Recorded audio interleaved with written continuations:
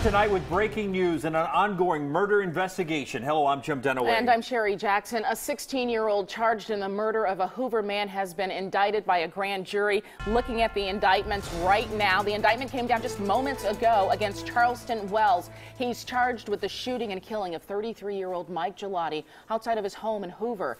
He has also been indicted on nine counts of breaking and entering. A family court judge ordered Wells' fingerprints and DNA be turned over to detectives.